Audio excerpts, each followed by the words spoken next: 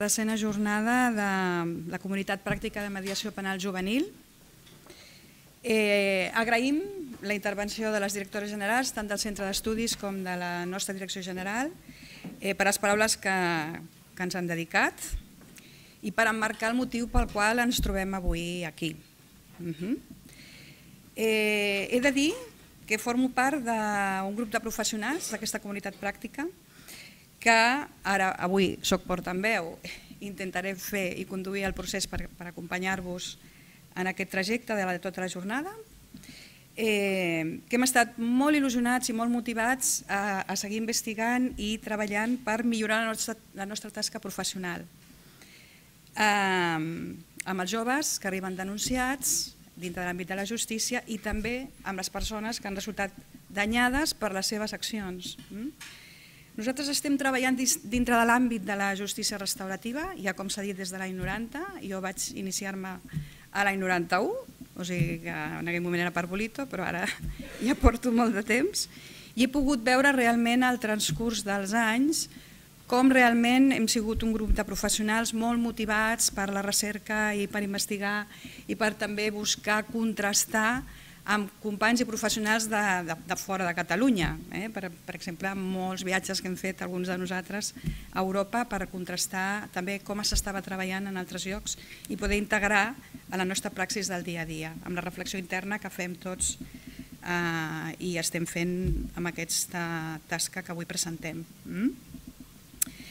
Eh, avui, eh, com deia, estem treballant dintre de l'àmbit de la justícia restaurativa, el qual vol dir que les persones que ens arriben el que intentem és que es pugui reparar el dany i reparar també els vincles que tenen la relació entre, entre aquestes persones. És a dir, no només es repara la víctima, sinó que també es repara el jove que ha estat l'infractor d'una acció.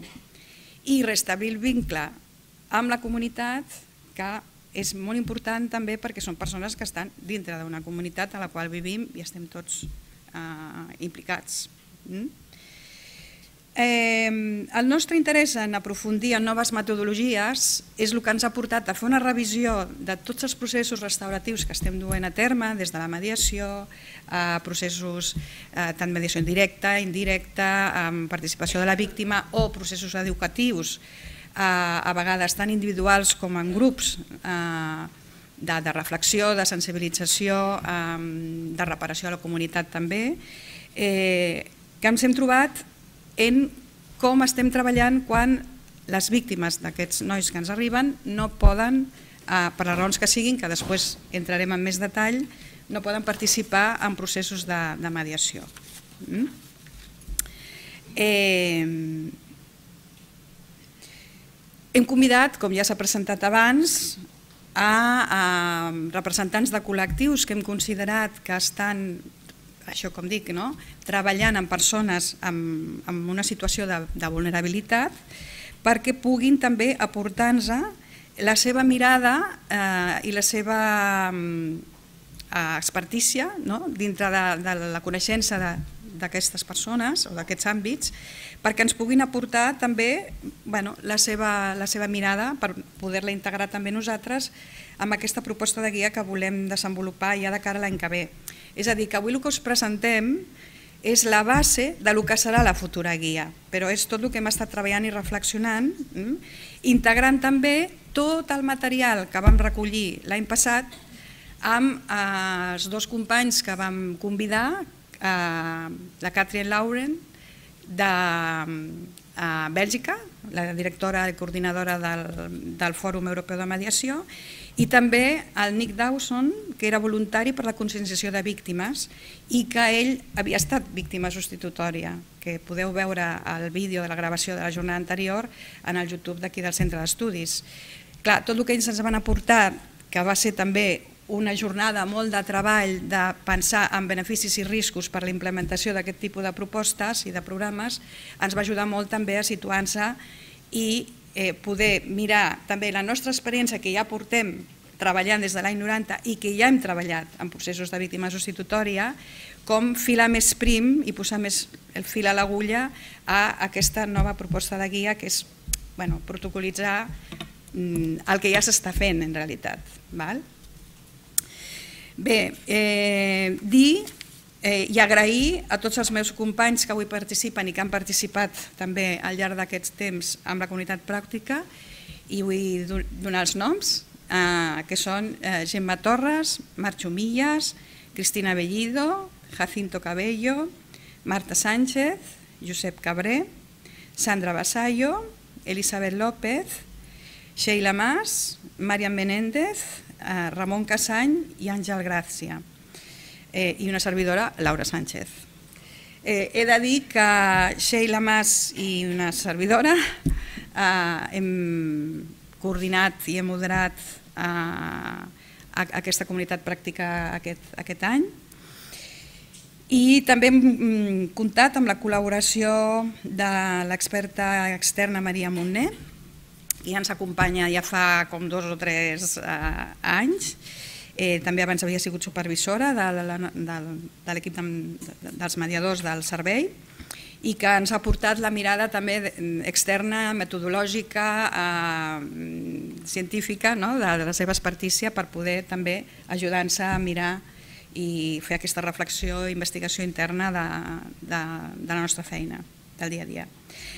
També agrair col·laboradors que ens han ajudat a construir el que avui presentem, com són dos companys que ens han fet il·lustracions mm, molt, molt xules, que són Robert Jimeno i Robert Sánchez, i eh, una altra companya que ens ha ajudat al muntatge d'aquestes eh, vinyetes, que és Irene Herrera.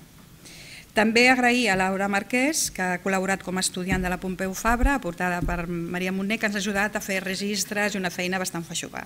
I també li volem agrair.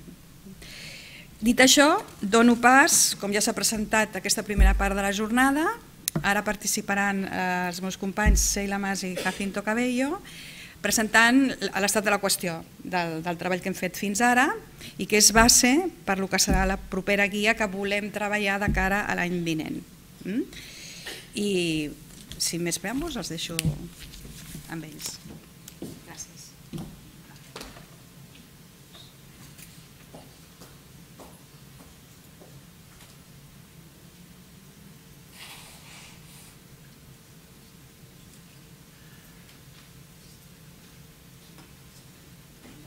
Bon dia i gràcies a tots i totes per estar aquí avui. Gràcies a tots i totes per estar aquí avui. Avui volem presentar, com deia la Laura, només volíem presentar-vos el que és l'estat actual del debat que hem anat tenint com a grup de treball dins de la comunitat pràctica a l'hora d'elaborar una guia per fer un programa per víctima substitutòria. Primer de tot, introduir-vos el per què, el com hem arribat fins aquí a plantejar-nos aquest programa. Pels que no coneixeu, sí que veig molts companys, però pels que no coneixeu com treballem a l'ESMAT, el Servei de Mediació i Assessorament Tècnic, el, el primer que fem al plantejar-nos un procés restauratiu o una mediació és veure la viabilitat tant de l'infractor com de la víctima. Alhora, el que prioritzem sempre és l'acte de trobada, justament pels seus efectes educatius i reparadors per totes les parts, tant per l'infractor, per la víctima o per la comunitat amb el tema de cercles. Sí que ens trobem algunes vegades, com comentaven, de que no, la víctima no pot participar, sigui perquè no hi ha víctima o per altres motius. Prioritzant justament aquest acte i els seus efectes, el, vam començar a veure que el fet d'introduir una altra persona com a víctima substitutòria podria ajudar a fer uh, aquest procés reparador.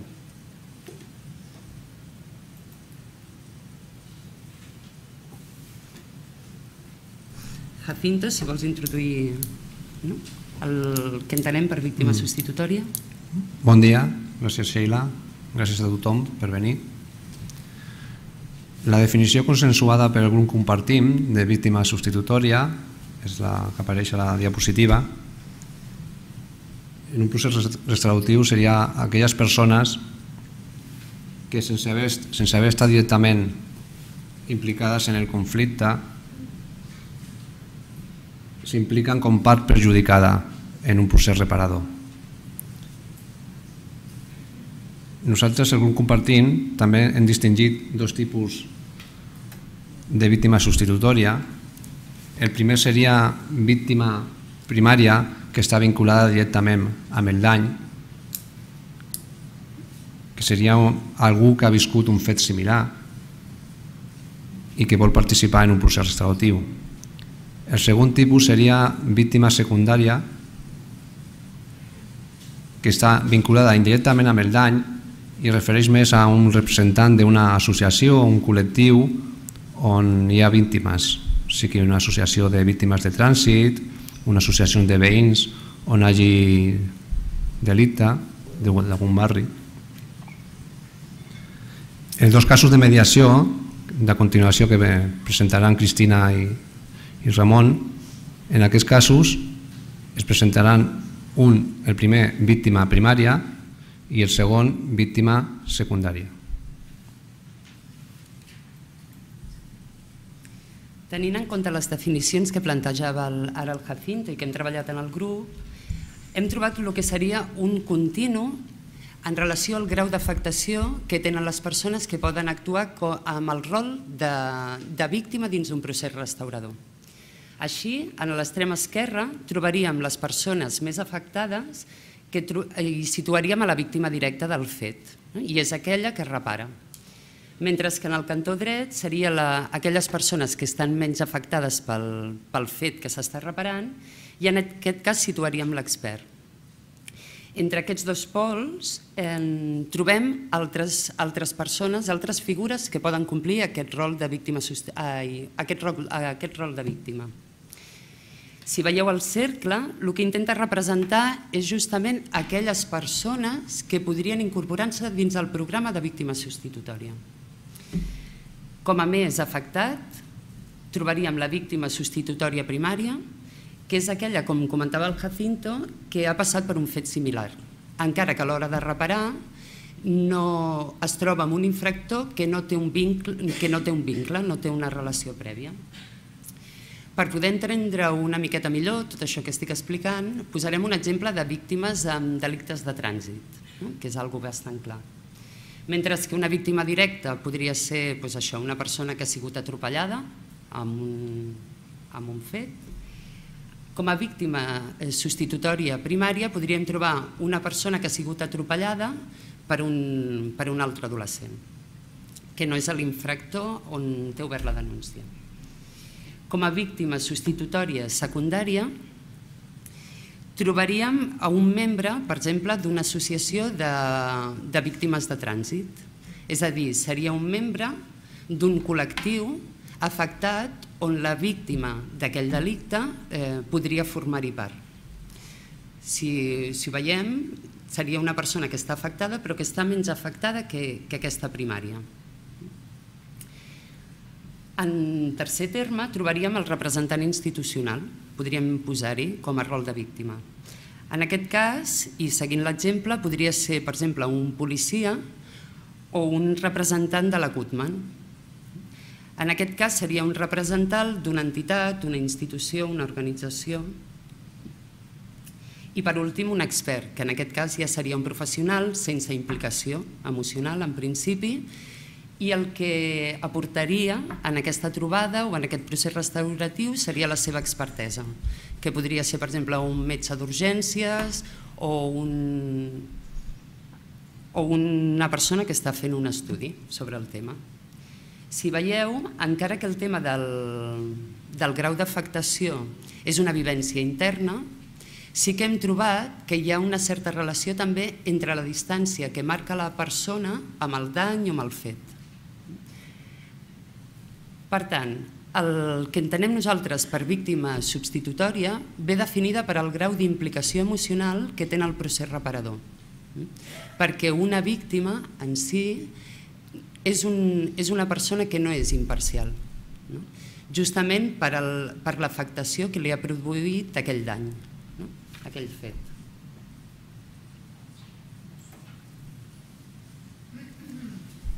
Qui pot ser víctima substitutòria? Tothom, tothom ha estat víctima d'algun fet hagi estat denunciat o no.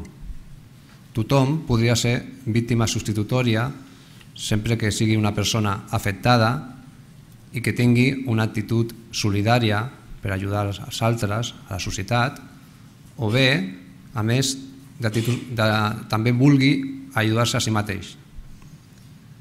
Aquesta persona afectada pot, pot participar bé a títol individual o també com a representant d'un col·lectiu.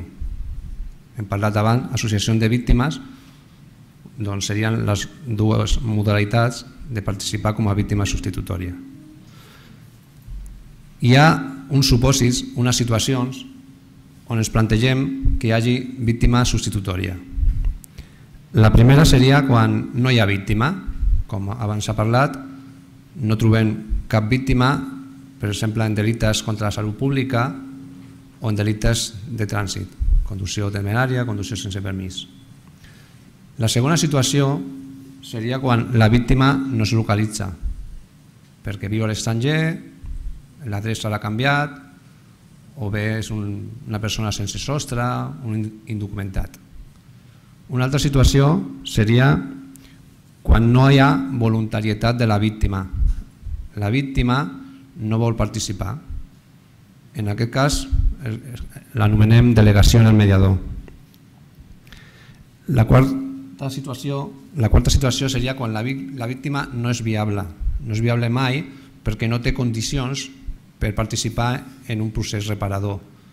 Bé perquè té demència o està incapacitat judicialment.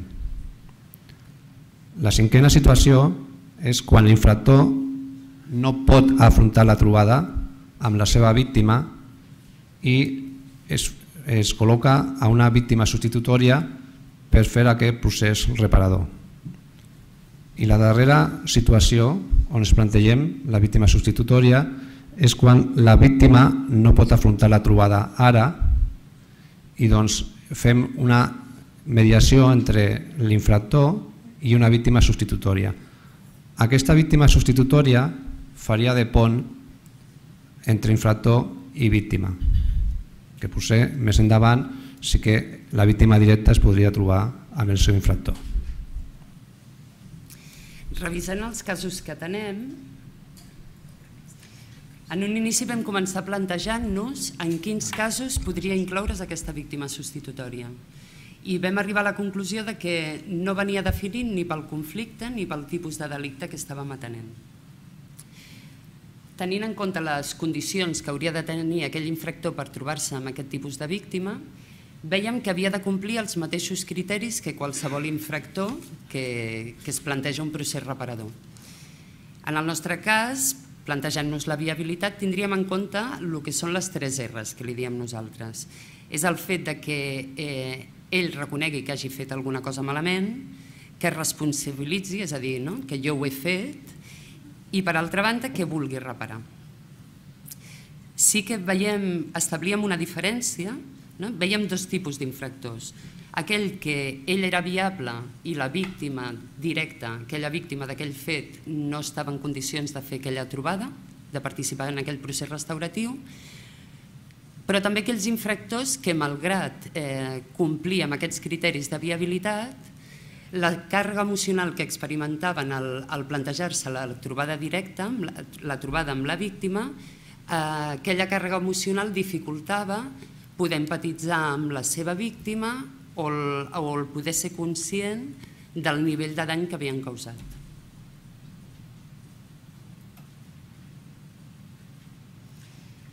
En aquest cas serien les condicions que creiem, les característiques que hauria de tenir aquesta víctima substitutòria per fer aquest rol.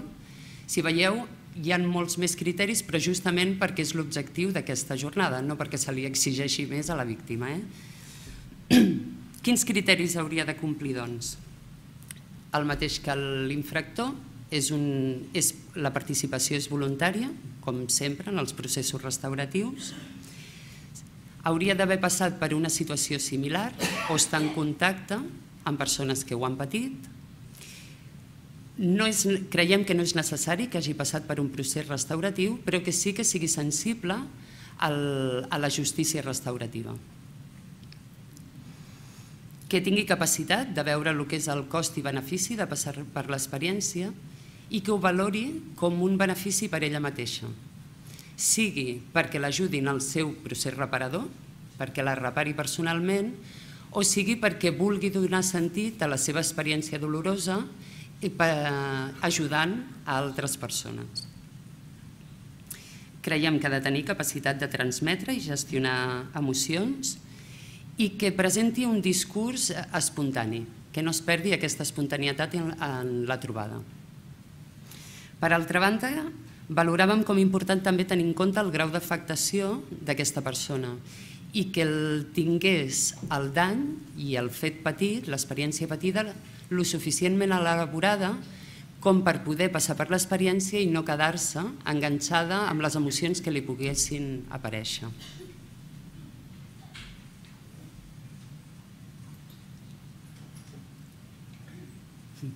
Aquest esquema que sembla tan complicat intenta eh, representar les diferents possibilitats que s'obren a l'incorporar una víctima substitutòria amb un acte de trobada.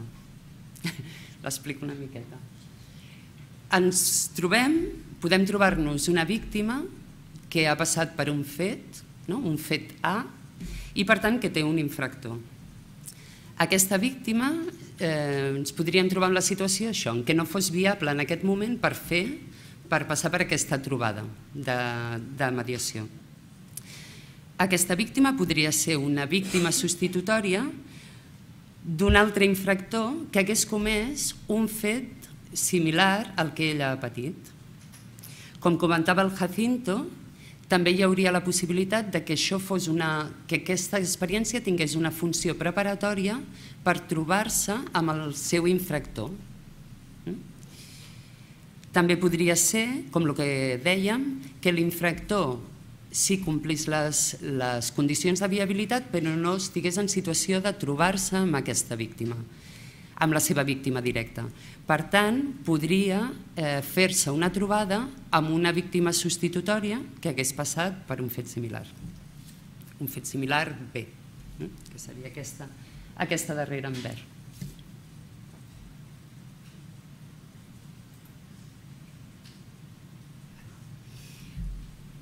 Més enllà, eh, s'ha de dir que tot això són possibilitats, coses que hem anat reflexionant i que no hi ha res encara tancat. Eh? Eh, altres possibilitats més enllà de la trobada i, que, i, i altres processos restauratius serien aquells que utilitzen metodologies més, més grupals. Per tant, la víctima substitutòria es podria incorporar amb, el, amb actes de trobada com el que és mediacions directes, reunions restauratives i cercles restauratius sí, que incorporessin més a la comunitat i que obríssim a altres persones afectades, però també podria incorporar-se amb xerrades de sensibilització o tallers dirigits tant a altres víctimes o a altres infractors. També podria formar, es podrien formar grups de víctimes, grups d'empoderament, i ens plantejàvem també altres metodologies grupals.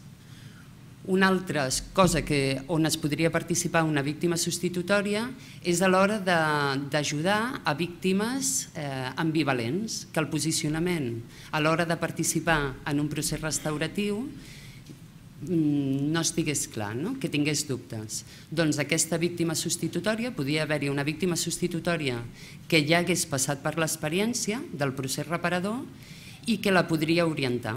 Per tant, com deia el Jacinto, hi hauria un pont de comunicació entre aquestes dues víctimes. O també podria donar orientació als familiars de la víctima del fet, no? com a possibilitats.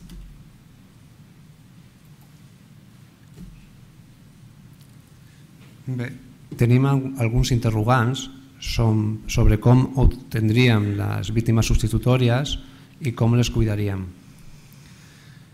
En quant al circuit de derivació, encara està pendent de definir.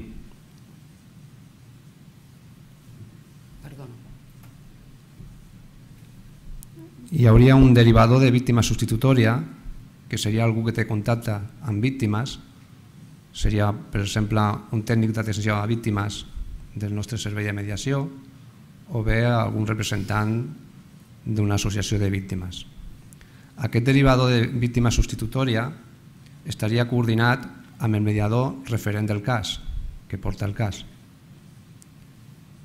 A més, hi hauria també un professional de suport a la víctima substitutòria. Aquest professional seria diferent al mediador que porta el cas. I aquest professional té un, un paper molt important en l'espai de cura com cuidaria a la víctima substitutòria, que Sheila comentarà ara. Bé, com dèiem, el, aquest professional seria el responsable d'aquest espai de cura del, de les víctimes. Com deia el Jacinto, valoràvem important que fossin persones diferents o que complissin un rol diferent justament per garantir la imparcialitat del mediador de, que està referent d'aquell cas que s'està reparant, justament per garantir la imparcialitat del, del mediador en el procés. Hem anomenat d'espai de cura per una perquè, el, bueno, perquè és una de les característiques justament dels processos restauratius, el fet de, la, de tenir cura de totes aquelles persones que estan participant però creiem que és important tenir especial cura de la víctima i de la víctima substitutòria. Establíem en aquest espai, establim en aquest espai i hem diferenciat tres moments. També a dir que no és algo, no està totalment definit, eh? però us, ens, us expliquem com els aspectes que tenim, que estem debatint. Diferenciem un, un primer moment, que seria l'espai previ al procés restauratiu, que li hem, de, li hem dit eh, prereparació.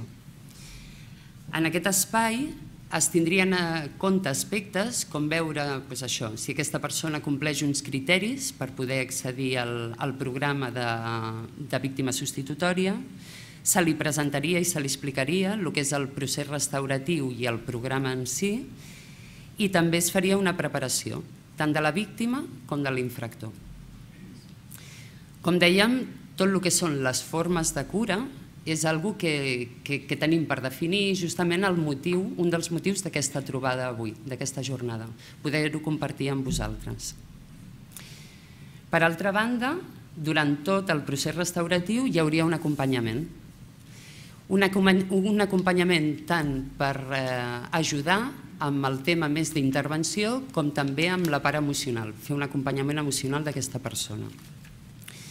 Queda per definir si hauria de ser un professional o, hauria de, o podria ser una altra víctima substitutòria que fes més de mentor, de tutor, com altres models, com l'anglès, no? que incorpora això. Per altra banda, creiem que també és important cuidar l'espai posterior a lo que és el procés restauratiu on s'hauria de vetllar per, eh, per les reaccions que, per atendre i vetllar per les eh, reaccions que hagi pogut tenir aquella víctima, que se li hagin pogut despertar amb l'experiència del procés restaurador. En aquesta, doncs això, recollirien les emocions, seria ajudar-les a recol·locar-les i donar-li un sentit a tota l'experiència. Creiem que coses que es podrien tenir en compte doncs a l'hora de preparar i cuidar la víctima serien eh, garantir que tingués unes expectatives reals en relació amb el que li pot oferir l'experiència, ajudar-la amb el tema més emocional, assegurar-nos que té recursos de recolzament i amb el cas de l'infractor doncs que, que, fos, que legitimés aquella víctima substitutòria per, el, per fer aquell procés reparador.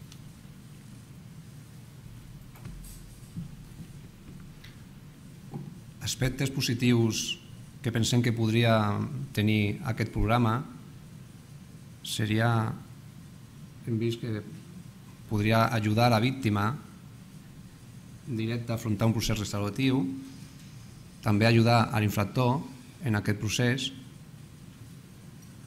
també ens permet focalitzar en el problema i no en la persona, així separem persona i problema.